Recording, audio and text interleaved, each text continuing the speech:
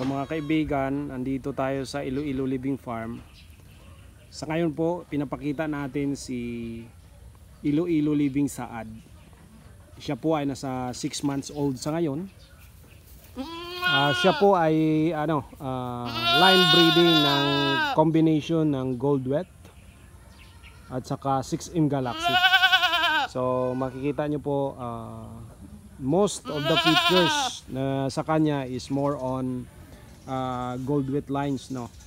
Uh, bulky very bulky muscle back. No power back siya. Oh, pag sinabi mo kasing gold wet ano yan eh uh, power back yan. So ganyan siya